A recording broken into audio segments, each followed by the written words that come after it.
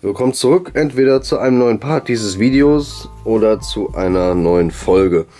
Ähm, hier zeige ich einmal den Laptop, aber zunächst, ich habe nicht nur diesen Laptop heute gekauft, oder gestern besser gesagt, der Tag ist noch wenige Stunden alt, äh, sondern auch das, das und das Gehäuse.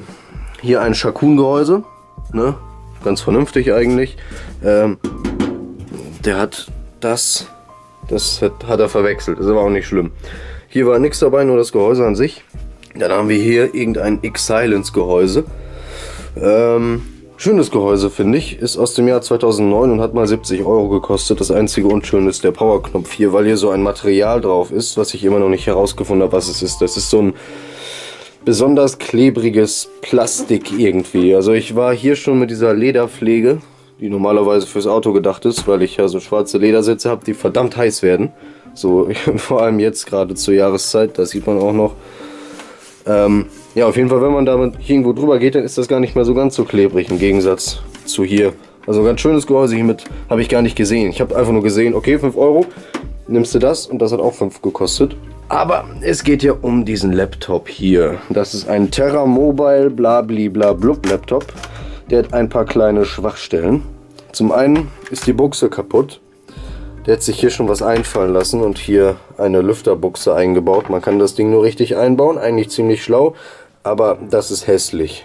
Das wird auf jeden Fall noch umdisponiert. Da kommt Schrumpfschlauch drum, das wird zusammengelötet. Hier, Schrumpfschlauch ist sowas. Kann man bei Pauline bestellen, kostet 6 Euro für diese Sammelkiste. Eigentlich habe ich vorgehabt, diese Buchse hier zu verwenden das ganze Zeug, was hier drin ist, das sind so kleine Elektroteile. Und jetzt denkt man sich, oh, eine Nadel. Ja, das ist die billigste Nadel, die man finden kann. Äh, oder hier. Oder, oder, oder da. Ne, also das sind irgendwelche Teile, die ich irgendwo mal ausgelötet habe. Habe ich alle mal hier drin sortiert gehabt. Aber hier habe ich jetzt sinnvollere Teile reingepackt. Zum Beispiel 9 Volt Batterien. Ähm, Probierklemmen. Schrauben. Test-CPUs. Adapter, also alles ganz äh, schön sortiert eigentlich mittlerweile. Hätte eigentlich gedacht, dass hier, dass der gesagt hat, ja, die Buchse ist kaputt, man muss das Ding reindrücken, damit es funktioniert und das muss ich dann noch alles selber machen, aber das hat er schon getan. Vielleicht kriege ich die Buchse ja noch nachträglich da rein. Ist die zu groß, zu klein? Muss ich hier oben so ein Stück abfeilen wahrscheinlich. Ja, aber so ein, so ein Stecker dafür, der passt ja überall rein. So, und für diesen Laptop habe ich 15 Euro bezahlt mit dem Netzteil und auch den Unterteilen hier. Und jetzt denkt man sich, warum ist der Lüfter hier dran? Ja, keine Ahnung. Und hier unten drunter ist es ein bisschen schmutzig, deswegen werde ich den Lüfter irgendwann einmal abbauen und da noch so Luftlöcher reinmachen. Einfach nur, damit das besser gekühlt wird. Und ich habe das Bild einfach nur gesehen mit diesem Aufkleber und dachte, hm, entweder ein Core 2 Duo oder ein i3.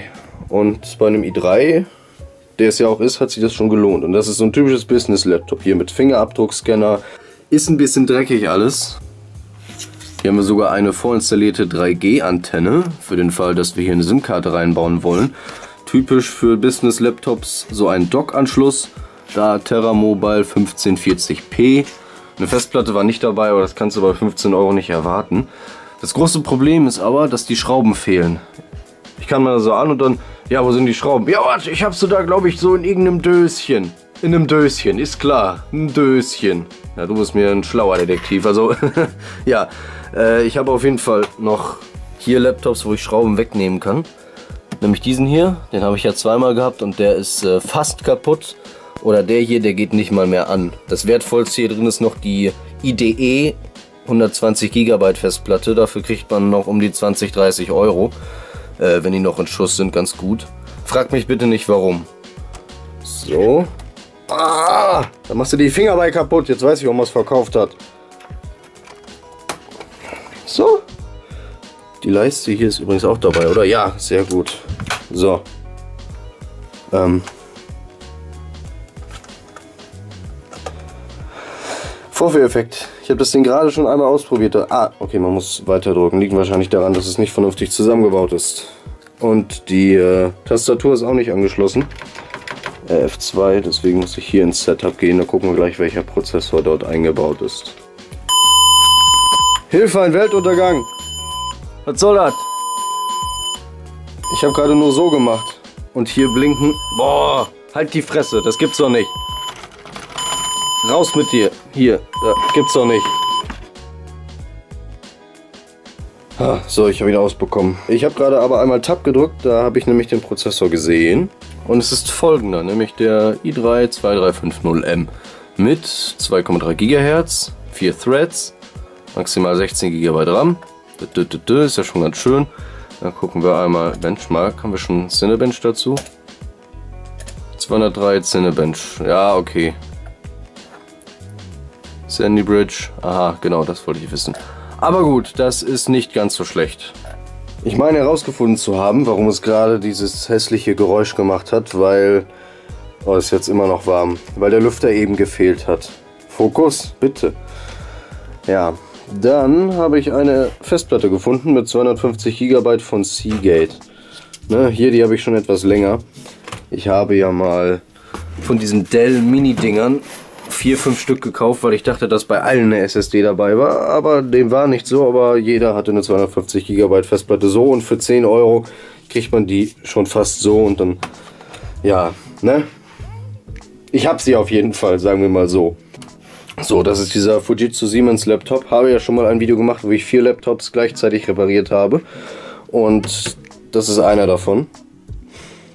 Ja, und ich habe gerade meine Schraube rausgeholt und ich sehe, die passt. Ne, also sobald ich hier in allen vier Ecken eine Schraube drin habe, bin ich ja schon beruhigt und äh, äh, ja, wäre auch gut, wenn ich dann die Klappe irgendwie befestigen kann.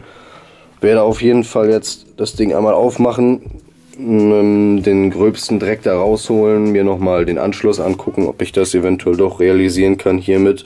Und ansonsten lasse ich das einfach so, weil das ist idiotensicher, man kann das nicht falsch einbauen und wenn man es doch falsch rum einbaut, der Anschluss, der hier drin ist, hat nur zwei Pins und wenn ich das Ding andersrum reindrehe, versteht sich von selber, kann es keinen Kurzschluss geben. Das ist schon mal gut zu wissen. Den Dreck werde ich auf jeden Fall rausnehmen, genauso wie das hier.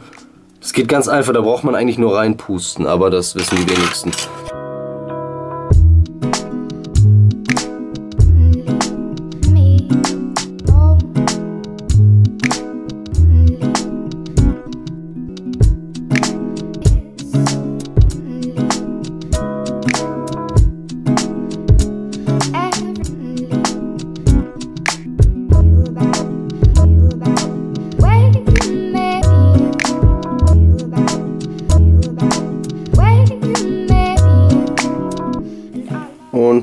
Ist auch schon der erste Teil der Installation fertig. Ich habe eben nachgeschaut, ob da eine DVD im Laufwerk ist. Dem war nicht so.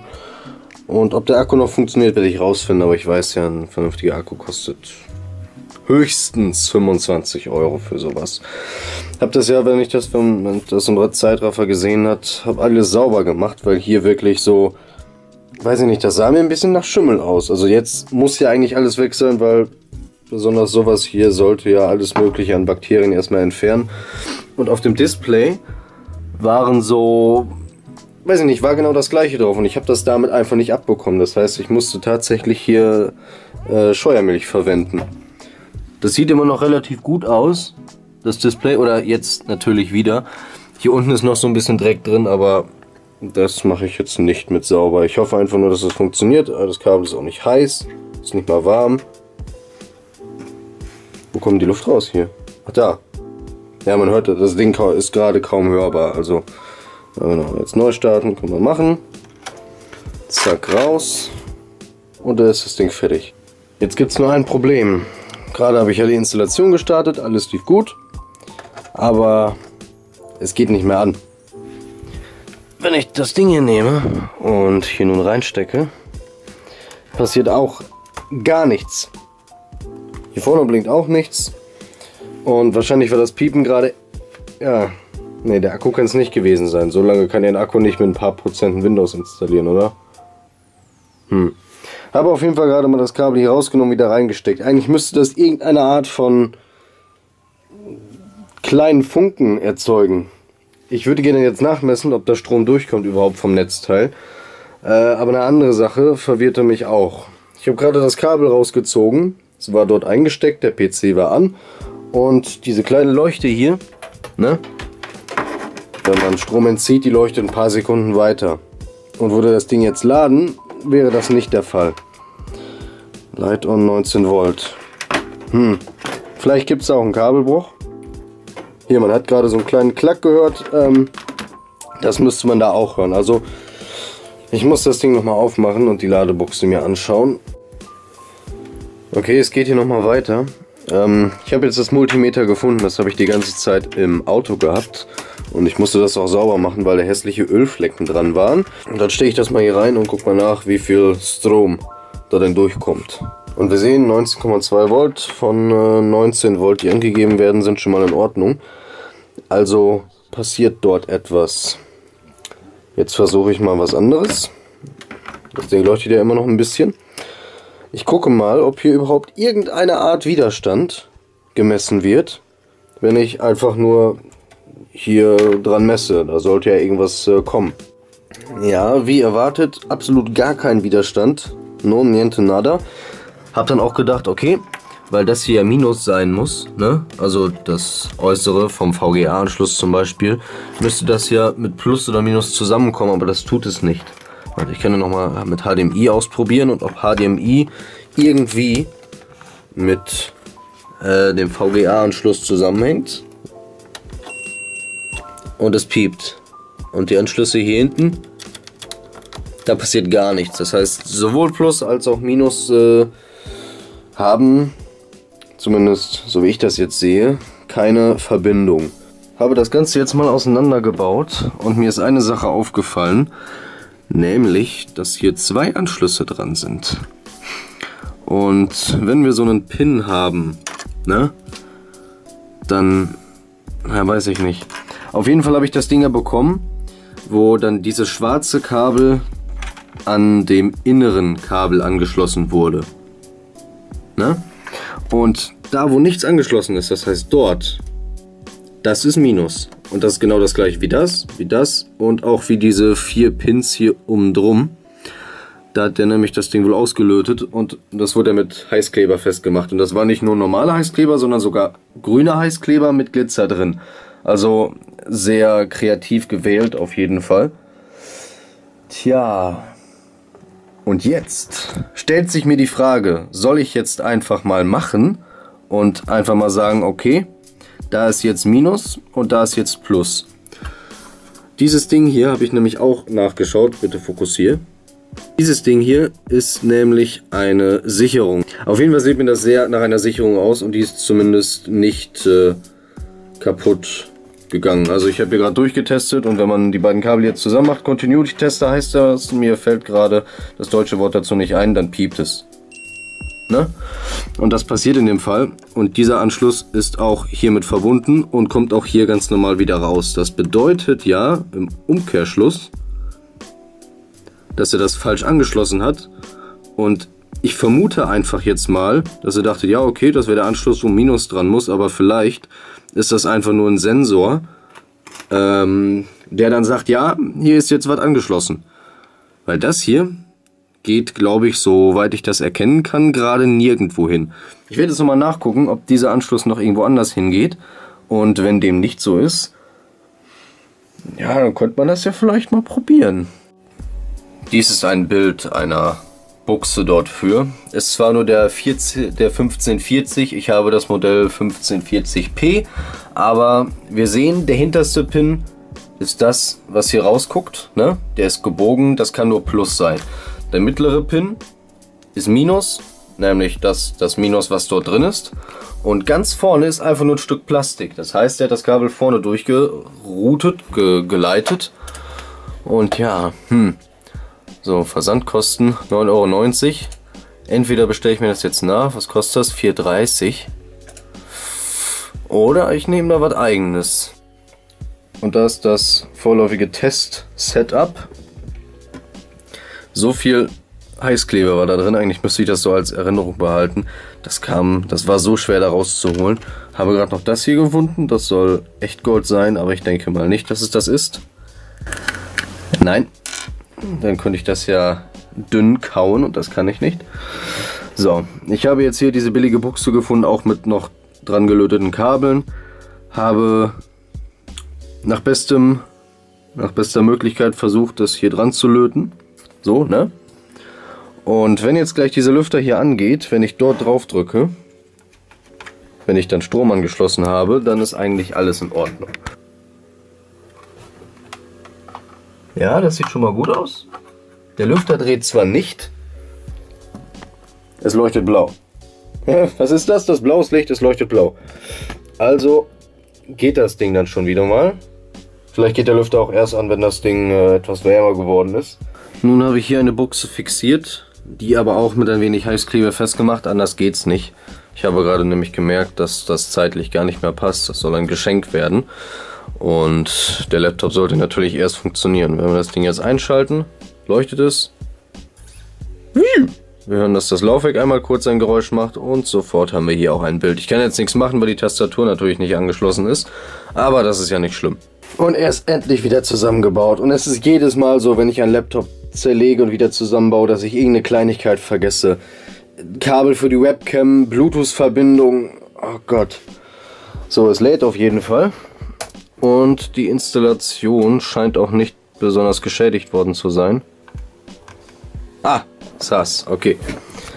Ja, hier muss da noch ein bisschen Anzeigetreiber gesucht, bla bla bla bla bla bla bla. Das soll er gleich alles machen. Und dieses Kabel wird jetzt noch ein Update kriegen. Das wird nicht so bleiben, auf jeden Fall. Ja, ich lasse ihn jetzt aber erstmal fertig installieren. Und dann gucke ich mir noch den Akku an. 35 Minuten bis zum vollständigen Aufladen. Na gut. Irgendwie sieht die Auflösung dieses Bildschirms gerade gar nicht so schlecht aus. 1600 x 900 für einen etwas kleineren Bildschirm ist absolut ausreichend. Ich habe schon PCs äh, oder Laptops gesehen, die waren noch ein bisschen größer als das und hatten eine Auflösung von 1360 x 700 bla. Und das sieht man wirklich, das ist schön scharf. Da habe ich hier aber nicht das WLAN-Passwort. SAS! Jetzt aber definitiv das letzte Lebenszeichen hiervon. Funktioniert alles soweit gut. Das Einzige, was nicht geht, sind die Lautsprecher, die hier eingebaut sind. Weil, nämlich der Herr Vorbesitzer, ja, also kann man schon sehen, das Ganze wurde rausgebrochen. Ähm, hier war eine Verbindungsstelle dabei, die ist jetzt ungefähr hier. Ne? Und wenn ich sie jetzt einfach nicht mit anschließe, dann müsste ich ja theoretisch Ton über die Lautsprecher hier bekommen. Ne? Oder vielleicht gibt es ein Programm, was nicht nur über die Kopfhörer, sondern auch über die internen Lautsprecher, also was gleichzeitig das abspielt. Vielleicht finde ich da ja noch auf die Schnelle was. Oder die Lautsprecher sind kaputt oder nicht angeschlossen, weil ich sie nicht gefunden habe. Aber ich habe gewiss, ich habe hier drei Sachen angeschlossen. Das war. Also ein Lautsprecher müsste zumindest funktionieren. Na gut, ein Lied ist ja auch zu hören. Ähm, der Laptop ist mittlerweile schon bei meiner Mutter und sie ist damit sehr zufrieden, so bis jetzt, aber sie meinte dann auch, ja, ich klicke irgendwo hin und es passiert mal was. Also vorher hatte sie irgend so ein HP-Laptop mit einem äh, AMD E1 oder A1, ich glaube E1 hieß das Ding und das werde ich dann auch bekommen und das ist wirklich verdammt langsam. Also 1,4 GHz Dual-Core Wahrscheinlich auch nur mit Hyperthreading. Ist jetzt nicht so das Wahre, aber vielleicht kann man damit ja später noch gut arbeiten, wenn da jetzt eine SSD drin ist. Das Ding wurde äh, von Anfang an nicht mal mit Windows ausgeliefert, sondern nur mit Linux. Also HP, warum macht ihr das? Es ist immer schön, wenn irgendwas nicht funktioniert und am Ende des Tages oder am Ende von drei, vier Tagen dann wieder funktioniert. Und natürlich, das, was ich hier gemacht habe, hätte jetzt nicht jeder so gemacht. Wahrscheinlich hätten die meisten so eine neue Buchse nachbestellt, aber in drei Tagen? Naja, man weiß nicht, ob es in drei Tagen da ist und dann stehst du da ohne Geschenk. Oder musst das nur kurz vor knapp machen. Das ist dann auch nicht so gut. Und der Laptop wird jetzt keine fünf Jahre halten, das ist absolut klar, aber sie wird damit auf jeden Fall noch viel Spaß haben und das ist erstmal das Wichtigste. Ich widme mich jetzt anderen Dingen, zum Beispiel dem da.